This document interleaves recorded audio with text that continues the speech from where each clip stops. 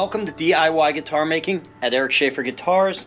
I just finished laying out a new design for a 13 fret to the body parlor guitar and it gave me the idea that well hey I thought it would be a really nice reference type video to make a quick video showing just a couple basic steps for laying out the most basic parameters of a guitar design around which some of the more interesting aesthetic elements of your guitar can be designed.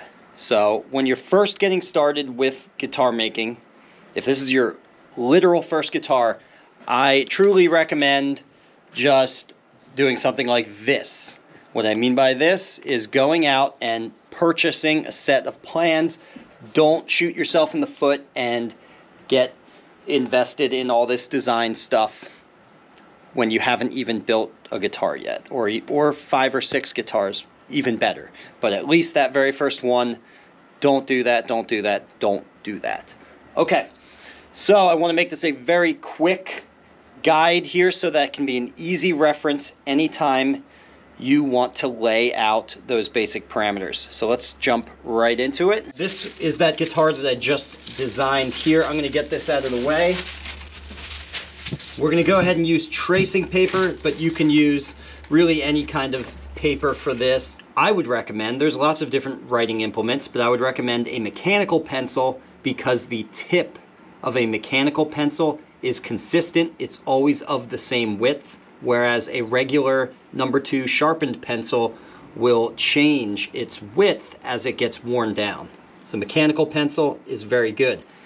Uh, small side note here, we will not be using the mechanical pencil though, simply because you won't be able to see on the camera what I'm writing very well. So just for the purposes of this video, since this is just a video exercise, we're gonna use a Sharpie, but I don't recommend using a Sharpie when you do this at home. Okay, guys? All right, so the first thing we're gonna do, step number one, so give yourself a long center line. How long? I just go the full length of my 36 inch ruler, which is overly long, which is what we want, okay? Just an overly long straight line. Our entire guitar now will be designed around this center line. Next, I'm going to square a line right at the top. This is also a square line that can be overly long. Okay, if you need uh, a number for this, I would say about, that's uh, probably about five inches long, but the idea is it's longer than we need it to be. Okay, and then we're gonna, on this line, we're gonna mark our fingerboard width at the nut. Okay, this is usually a pretty common measurement you can find um, even from the consumer's perspective when you're buying a Martin guitar or something like that. These specs are usually pretty available and you can copy uh, some common specs that you find online. In this case, I happen to be doing an inch and three quarters, which is a fairly common width at the nut. So split in half, that would be 7 eighths of an inch on each side. All right, so this is the width of the fingerboard at the nut. We're now going to measure inward for our string locations. A pretty standard measurement for this that you could just copy right here is an eighth of an inch. So we're going to mark an eighth of an inch inward from the outside edge on both sides. Next I'm going to mark where my neck to body joint is.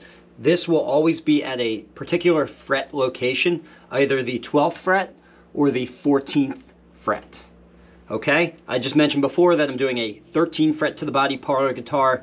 That's unusual, don't worry about that. You will almost certainly be doing either the 12th fret or the 14th fret. The 12th fret is kind of a older thing, a bit more of a vintage vibe, whereas the 14 frets to the body really is the dominant layout for a modern acoustic guitar. So most of you guys will probably be marking out the 14th fret at this point. Um, I'm not going to get into how you figure out exactly where the 14th fret is, and it's completely unnecessary to do so. Online, there are all kinds of great calculators. If you know your scale length, then you can easily derive the 14th fret location using one of those calculators. Also, if you have a template, like a fret slotting template, which you will be using for the build process, you could just use that to mark out your 14th fret. So we're going to be doing a 24.5 inch scale length here. So I can line that up right on the nut right there.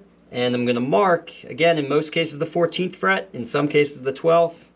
I'm to go ahead and mark the 13th here because, um, again, I'm just kind of modeling after the guitar that I just designed over there. Okay, so this would be your neck joint. Okay. All right, and then while we have the template out here, or the ruler if you're using that to get your neck joint, while we have this out, I'm going to go ahead and also mark our full scale length. So there's two ways and I'm sorry, I don't want to say full scale length because I don't want to confuse you guys. I'm going to say nominal scale length, and I'll get to what that means in a moment. So I'm going to go ahead and mark our nominal scale length. I can use my template here and accurately get that scale length by simply marking the 12th fret and then flipping this around, placing this back on the 12th fret, because the 12th fret, that's our octave, and that's half of our nominal scale length. So if I flip this around and then mark right there, I've doubled that 12th fret distance and given myself my full nominal scale length. I'm going to write right here nominal SL for scale length. Okay.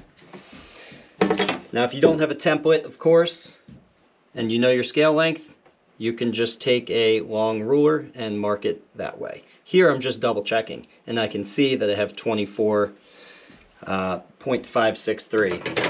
technically is, is exactly what the nominal scale length is. 24.563 inch, okay? Now that's the nominal scale length, which means in name only. That's what nominal means. Our actual speaking length of the string is slightly longer due to compensation. To keep this video brief, I'm not going to talk about compensation and why we need it, but just understand that it is a slight lengthening of the scale length in order to make everything intonate as accurately as a guitar can. And so compensation is another one of those things where you can use an online calculator. I'm going to leave uh, in this video, when I edit the video, there will be a link that I will give for a specific calculator that I think is really good online calculator for figuring out your compensation. So with that calculator, I was able to determine that the added compensation is 0.214 on the bass side and 0.0977 on the treble side. So now, because I'm trying to find a mark along the center line, our treble side's out here, our bass side is out here, right?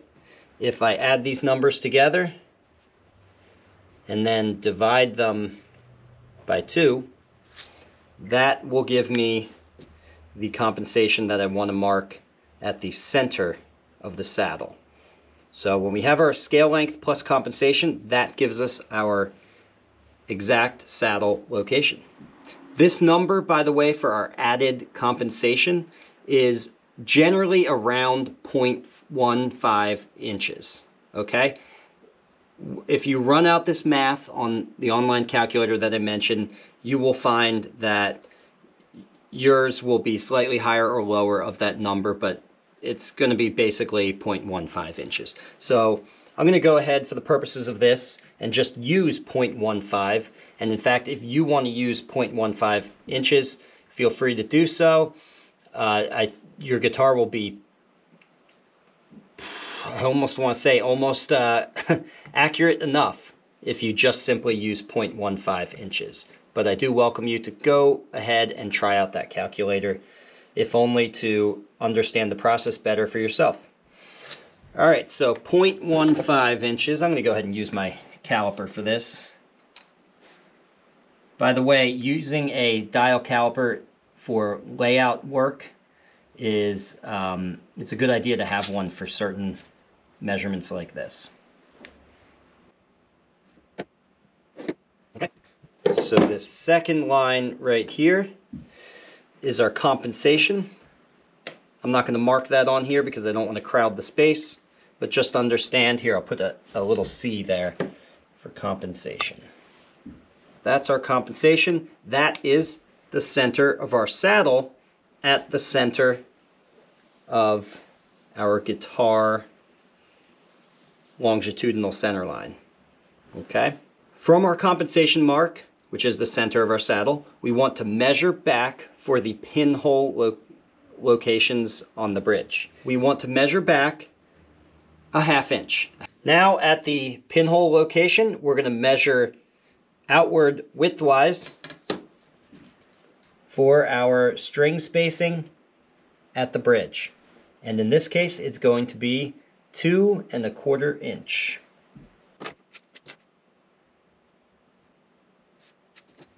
All right, now it starts to get fun. We can go ahead and connect our string points because we have the locations of our outer strings at the nut and the locations of our outer strings at the bridge. Now remember, we're connecting with that inner line at the nut because the outer line is the edge of the fingerboard. It is not the location of the string. So make sure you're connecting with the right line. Now jumping back to our neck joint, which is this one right here. Okay, that was the 12th fret. There's our 13th fret. Again, usually that's the 14th. In this case, it's a little bit weird. And at that location, I'm going to square a line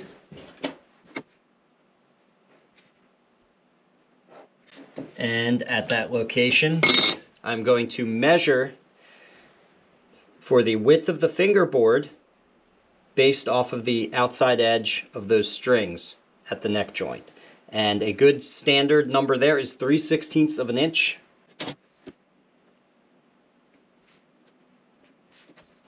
Okay, so if, if you recall, we measured an eighth of an inch off of the edge at the nut. It's a little bit wider, 3 sixteenths of an inch, at the neck to body joint. And that's because we actually want the fretboard to taper outward a little bit more than the strings themselves taper outward. This is really just to prevent uh, the situation where you build a guitar where the strings tend to fall off of the bevels. Okay, so it's always a little bit desirable to have the fretboard flare out slightly more than the splay of the strings themselves. So now we can connect those lines to give us our fretboard. And you can even go ahead and run that line out over the body a little bit because your fretboard tongue is going to extend over the body a little bit. I'm going to go ahead and finish up by, I'll just take my new mold that I made here for my parlor and line that up and trace it out. All right, so this is what at least I consider to be a starting point for designing a guitar. Uh, after this, I'll usually jump up here, add about a quarter inch or whatever you want for the width of your, your nut. Okay, so let's say add a quarter inch there, square that line across, then I can either design or trace from an existing template my headstock shape. I can also determine my inside string holes based off of the outside string holes and then take a straight edge and draw those lines up towards the nut to determine where my tuner hole locations are going to be. And of course you can have your tuner hole locations. They can be off to the side. Um, I'm sure you guys have all seen this. It's kind of the classic design where the strings meet the nut and then splay outward towards the tuner holes. Or you can do a straight pull design, which is what I like to do, where the strings meet the nut and then continue riding straight towards their tuner holes. Okay, and in that case, it's very important to draw all this out to determine exactly where those tuner holes should go to meet those strings. Side note there, most people just put the tuner holes off to the side and have the strings splay out to meet wherever the tuner holes are. It's just easier design wise. From there you can draw your bridge and then again this gets a little more complicated but we can determine where the X brace is based off of where the wings of the bridge are. Uh, from that we can determine where a sound hole it should be and where a transverse bar should be. And after that, I mean, you're pretty much there. You have a you know, a couple other things to consider where your other braces, your finger braces, and your tone bars, where they come off of the X brace, and where your blocks are, right? You want to have a neck block here, and you're going to have a tail block back here. In a nutshell, that's your layout. If you learned something here, please give this video a like and subscribe so you can be notified when I release a new DIY guitar making video. And if you want to really learn more, take one of my structured online courses at ericschaeferguitars.com or register for a hands-on guitar building workshop here with me in Bernville, Pennsylvania.